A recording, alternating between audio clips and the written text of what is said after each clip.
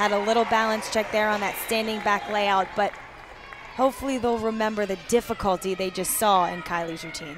Geralen Stack Eaton. She must feel like she was just on this event doing floor. It went Stack Eaton Hoffman to finish for Alabama last night. Beautiful, man. Every time I see her do that pass, she lands it like that.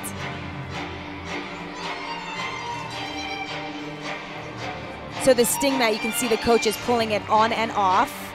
It's called a sting mat. It's just a little extra padding that really does help in taking off any stings from ankles, shins, knees. It is allowed in competition, no deduction.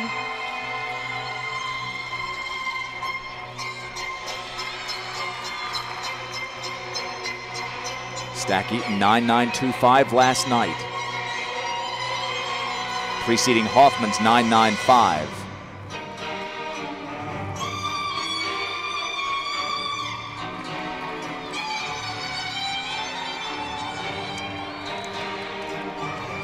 This routine just really shows off her performance in the type of music and dance that goes along in this routine. She's beautiful to watch, and she is digging deep, really digging deep to create a performance like this. Beautiful. That takes so much energy and so much determination to get through another floor routine